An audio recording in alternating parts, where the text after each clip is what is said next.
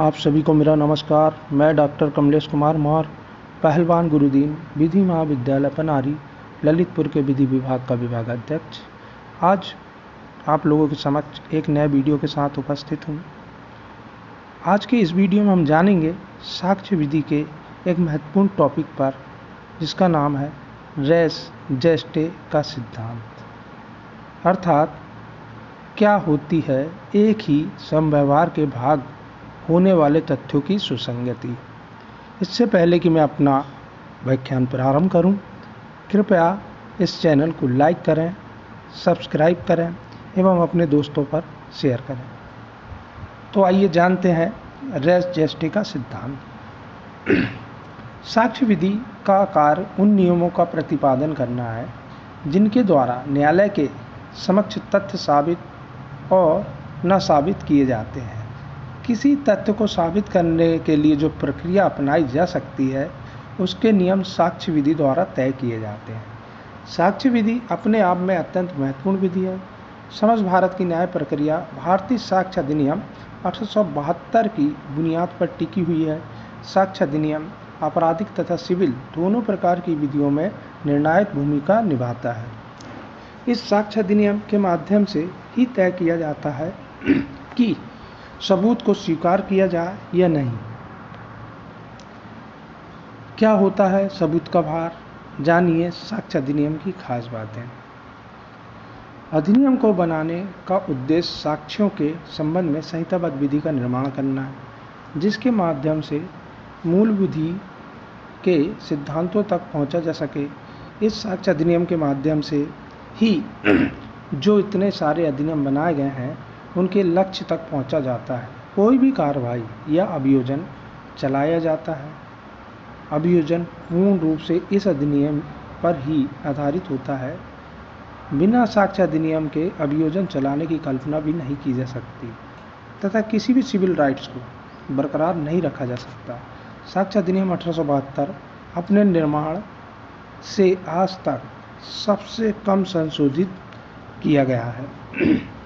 साक्ष्य अधिनियम में क्या है? रेस जस्टे का सिद्धांत। इसके विषय में जानते हैं। साक्ष्य विधि में रेस जस्टे के सिद्धांत का अत्यधिक महत्व है। यह सिद्धांत विश्व भर की साक्ष्य विधियों में अलग अलग नामों से लागू किया गया है। भारत में इस सिद्धांत को साक्ष्य अधिनियम अठारह सौ बहत्तर की धारा छः के अंतर्गत लागू किया गया है। साक्ष्य अधिनियम अठारह सौ बहत्तर की धारा छः के अनुसार एक ही समव्यवहार के भाग होने वाले तथ्यों की सुसंगति।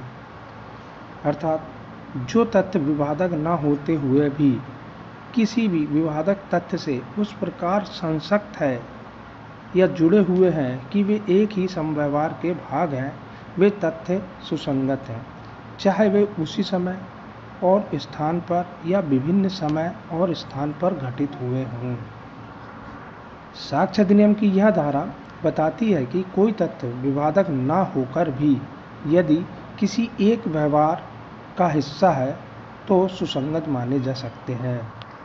शब्द रेस जेस्टे का शाब्दिक अर्थ है संबंधित तथ्य, अर्थात ऐसे तथ्य जो एक ही संव्यवहार के भाग माने जाते हैं। जैसे किसी भी घटना के लिए अलग अलग तथ्य होते हैं।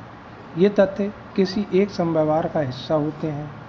ये सब आपस में जुड़ते हैं और कोई एक सम व्यवहार को जन्म देते हैं। इस बात को इस सरल उदाहरण के माध्यम से समझाया जा सकता है, जैसे राम ने एक तलवार श्याम से खरीदी। खरीदने के बाद उसने इस तलवार से धर्मेंद्र की हत्या कारित की। राम तलवार खरीदने किसी अन्य स्थान गया, वहाँ से तलवार खरीद कर लाया किसी अन्य स्थान पर उसने धर्मेंद्र की हत्या की। धर्मेंद्र की हत्या राम द्वारा उसी तलवार से की गई, जिस तलवार को उसने श्याम से कुछ रुपयों में किसी प्रतिफल के बदले खरीदा था। श्याम से तलवार खरीदना, तलवार खरीदने श्याम के नगर जाना, उसके बदले श्याम को प्रतिफल देना, किसी अन्य स्थान पर जाकर धर्मेंद्र की हत्या कारित करना, यह सब कुछ सुसंगत तथ्य है। इन सभी का केवल एक ही लक्ष्य है। इससे यह सभी एक ही संव्यवहार के भाग है तथा सब तथ्य मिलकर किसी एक लक्ष्य को भेदना चाहते हैं। एक समव्यवहार धर्मेंद्र की हत्या कारित करना है। राम का श्याम से तलवार खरीदना तथा उसे प्रतिफल के बदले कुछ देना, यह तो सिद्ध नहीं करता कि राम द्वारा धर्मेंद्र की हत्या की गई है। परंतु यह सिद्ध ज़रूर करता है कि राम का तलवार खरीदने का कारण किसी व्यक्ति को क्षति कारित करना ही था, क्योंकि तलवार का क्रय करना भारत की सीमाओं के भीतर अपराध है। राम द्वारा ऐसा अपराध कारित किया गया। उसने तलवार खरीदी थी। इसका आशय यह था कि वह किसी को क्षति पहुंचाना चाहता था। इस धारा का सिद्धांत यह है कि जब कोई समव्यवहार जैसे कि कोई संविदा या अपराध, विवादक तथ्य हो तो प्रत्येक ऐसे तथ्य का साक्ष्य दिया जाता है, जो उसी संव्यवहार का भाग है। रेजिस्टे शब्द भारतीय साक्ष्य अधिनियम की धारा छः में प्रयोग नहीं किए गए हैं। कारण यह है कि यह सिद्धांत अनिश्चितता को जन्म देता है। यह शब्द लैटिन भाषा के हैं।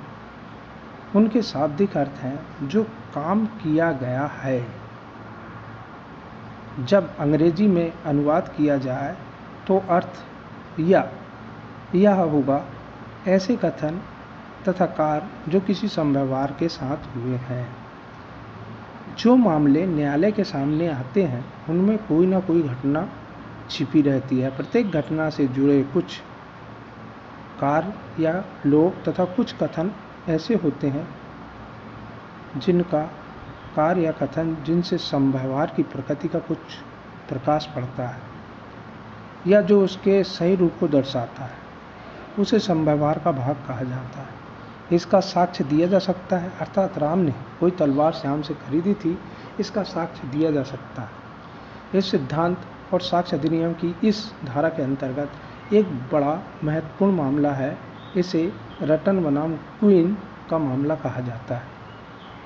इस मामले में एक व्यक्ति पर अपनी पत्नी की हत्या का आरोप था। उसका कहना था कि गोली दुर्घटनावश चल गई थी। एक साक्ष्य यह था कि अभियुक्त की पत्नी ने टेलीफोन मिलाया और ऑपरेटर लड़की से कहा, मुझे प्लीज़ दीजिए।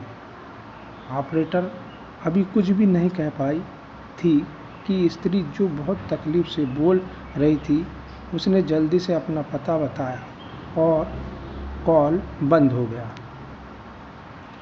ऑपरेटर ने पुलिस को सूचित कर दिया। पुलिस वहाँ पहुँची और स्त्री का सब वहाँ पर पाया। उसके द्वारा टेलीफोन करना और पुलिस मंगाना उसकी हत्या के संव्यवहार का भाग माना गया। माना गया कि घबराहट की हालत में उसका टेलीफोन करना उसकी हत्या की आशंका को दर्शाता है। यह घटना दुर्घटनावश नहीं थी। किसी दुर्घटना से पीड़ित होने वाला व्यक्ति स्वप्न में भी नहीं सोच सकता कि वह दुर्घटना से पहले ही पुलिस को बुला ले। रेस जेस्टे के सिद्धांत का यही एक लाभ है। यह न्यायालय को प्रत्येक संव्यवहार के सभी आवश्यक अंग ध्यान में लेने की अनुज्ञा देता है। अब हम देखेंगे रेस जेस्टे में कथन का महत्व। अधिनियम की धारा छः के अंतर्गत तथा इस सिद्धांत के अंतर्गत कथन का अत्यधिक महत्व है। सिद्धांत के अंतर्गत यह माना जाता है कि कथन संव्यवहार से बिल्कुल जुड़ा हुआ होना चाहिए। कथन और संव्यवहार के बीच में इतनी दूरी नहीं होनी चाहिए कि कथन पर विश्वास करने के संबंध में संशय होने लगे। इस संबंध में Janatela P Rao versus state of Andhra Pradesh, उन्नीस सौ छियानवे का मामला है सुप्रीम कोर्ट का। इस मामले में एक बस में आग लगा दी गई थी, जिसमें कई लोग घायल हुए थे, जिन्हें अस्पताल पहुँचाया गया था। मजिस्ट्रेट ने इनके कथन लिखे। इन कथनों को एक ही संभवार में नहीं माना गया, क्योंकि घटना के काफ़ी समय पश्चात ये दर्ज किए गए। आर बनाम बेडिंगफील्ड के मामले में ऐसे कथनों का महत्व बताया गया है, जहाँ एक घायल महिला कमरे से निकली और निकलकर उसने कहा ओ माय डियर चाची, देखिए पेंडिंग फ़ील्ड ने मेरा क्या हाल किया?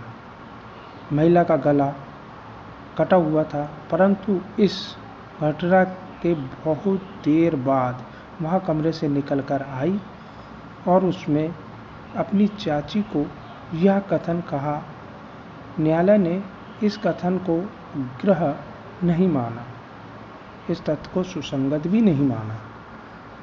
कथन घटना से अत्यंत जुड़ा होना चाहिए, क्योंकि कोई भी व्यक्ति जब घायल किया जाएगा तो वह मदद मांगेगा या प्रतिरोध करेगा, लेकिन इस घटना में कुछ ऐसा नहीं प्रतीत होता है। एक ऐसा ही प्रकरण भारतीय उच्चतम न्यायालय का भी है। उस प्रकरण को R M Malkani versus state of Maharashtra का मामला कहते हैं। इस प्रकरण में उच्चतम न्यायालय द्वारा निर्णित किया गया कि जब कोई ऐसी बातचीत चल रही हो जो किसी समव्यवहार का भाग होने के नाते से सुसंगत है तो यदि उसे तत्काल टेप कर लिया गया हो तो ऐसी टेप सुसंगत होगी। यह रेस जेस्टिक का नियम होगा। एक वारदात जिसमें एक महिला बंदूक की गोली से मृत्यु को प्राप्त हुई। उसने घटना के कुछ ही समय पूर्व चीख कर कहा था कि उसके पास कोई व्यक्ति बंदूक लिए खड़ा था। यह कथन समय के हिसाब से घटना के इतना निकटतम था कि उसे संभववार का भाग माना जाएगा। आई होप यह वीडियो आपको बहुत पसंद आया होगा। धन्यवाद।